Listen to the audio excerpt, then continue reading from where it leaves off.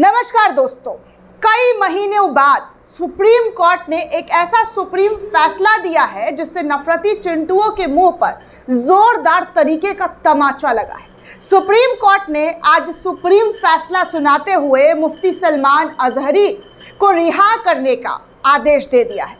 यही नहीं, मुफ्ती सलमान अजहरी को फ़ौरन रिहा करने का आदेश दिया है। ये वही मुफ्ती सलमान अजहरी है जिनके बयान को आधार बनाकर इनको लंबे समय से जेल में रखा गया।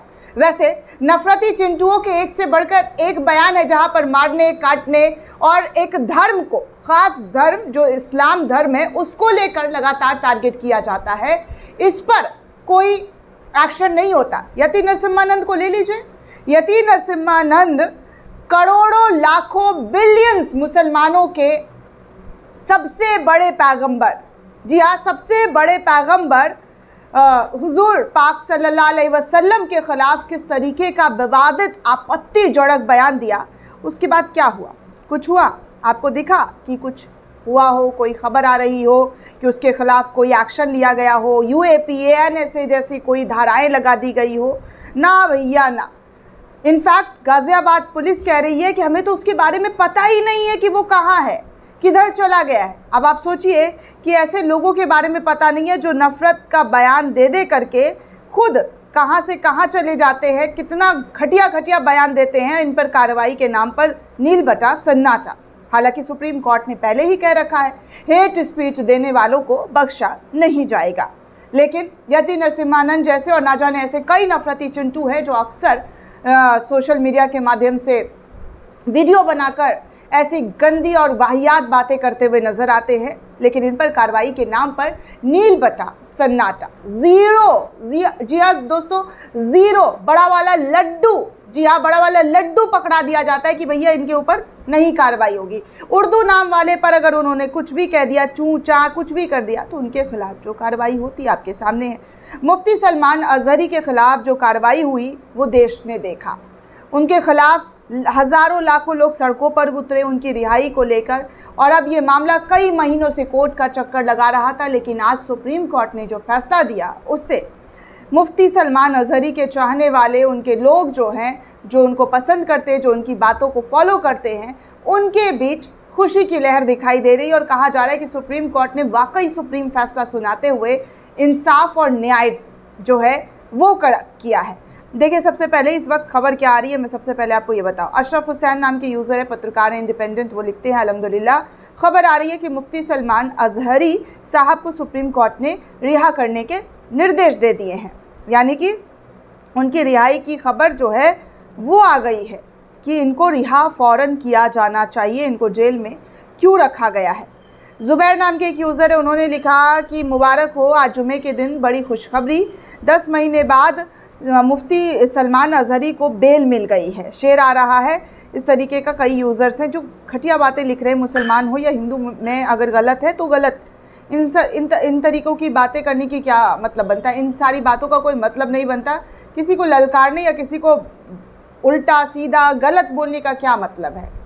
भाई अगर साफ़ सीधी सी बात है कि आपने अगर गलती की है तो आप उसकी सज़ा आपको मिलेगी। चाहे आप गलत सज़ा काट रहे हैं या आपके ऊपर सही सज़ा लगी है, लेकिन ऊपर वाला देख रहा है कि किसके साथ क्या हो रहा है। वो इंसाफ करेंगे। भले ही दुनियादारी की चीज़ों में बहुत सारी उलझने, अड़चने आ जाती हैं, लेकिन ऊपर वाले का इंसाफ होकर रहता है। तो ये ये सब करने की ज़रूरत नहीं है कि अगर उसने राइट विंग के लोगों ने नफ़रत फैलाया तो लेफ़्ट विंग के लोगों को भी नफ़रत फैलाना है, या कोई मुसलमान है जो नफ़रत की भाषा बोल रहा है। ऐसे करने की किसी को ज़रूरत नहीं है।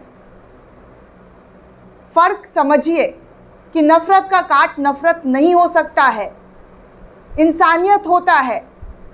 और इस्लाम धर्म में यही कहा गया और बाकी सभी धर्मों में यही कहा गया है कि नफ़रत से कुछ भी नहीं जीता जा सकता है। चाहे वो हिंदू धर्म हो या मुसलमान धर्म हो या सिख हो या ईसाई हो या कोई भी धर्म हो।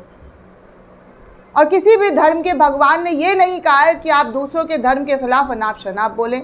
दूसरों के धर्म के खिलाफ अनगढ़ बातें करके आप महान बन जाए। नहीं। सब धर्मों का आप सम्मान कीजिए। आप जैसा अपने धर्म का सम्मान करते हैं, वैसे दूसरों के धर्म का भी सम्मान करना सीखिए। गलत उल जुलूल बातें बोलने से बचिए। इसे कर कर सिर्फ़ और सिर्फ़ आप अपने आप को नीचा दिखा सकते हैं, बाकी कुछ नहीं। आगे असदुद्दीन ओवैसी प्राउडी पेज से कहा जा रहा है कि शेर हिंद मुफ्ती सलमान अजहरी साहब को 10 महीने बाद सुप्रीम कोर्ट में ज़मानत मिल गई है। ज़मानत मिलने के बाद मुस्लिम समुदाय में खुशी की लहर नज़र आ रही है। आदिल नाम के एक यूज़र है, वो लिखते हैं, मुफ्ती सलमान अजहरी को सुप्रीम कोर्ट ने रिलीज़ करने का आदेश दे दिया है। मुफ्ती सलमान अजहरी साहब को गुजरात पुलिस ने तीन मामलों में पहले ही ज़मानत मिल चुकी थी, लेकिन वो पिछले दस महीने से पीएसए एक्ट के तहत जेल में थे। सुप्रीम कोर्ट ने पीएसए के तहत नज़रबंद नज़रबंदी को रद्द कर दिया और 10 महीने बाद मुफ्ती सलमान अजहरी को आज बड़ोदरा जेल से रिहा करने का आदेश दे दिया है। साफ़ तौर पर कहा गया है कि बड़ोदरा जेल से उन्हें रिहाई दी जानी चाहिए। तो इस वक्त सोशल मीडिया पर हर कोई मुफ्ती सलमान अजहरी को लेकर लिख रहे हैं, बोल रहे हैं कि कैसे मुफ्ती सलमान अजहरी की आज जीत हुई है और जो नफ़रती चिंटू हैं उन नफ़रती चिंटुओं की बहुत बड़ी हार हुई है। दोस्तों, इस पूरे रिपोर्ट को लेकर आप क्या सोचते हैं? आपकी क्या प्रतिक्रिया है? हमें कमेंट करके ज़रूर बताइएगा। साथ ही साथ, दोस्तों, अगर आपने अब तक चैनल को सब्सक्राइब नहीं किया है तो जल्दी से चैनल को सब्सक्राइब कीजिए और ज्वाइन करना बिल्कुल भी ना भूलें। दोस्तों, आप हमारा चैनल ज़्यादा से ज़्यादा ज्वाइन करें ताकि हमारी आज़ाद पत्रकारिता को बल मिलता रहे। धन्यवाद, दोस्तों।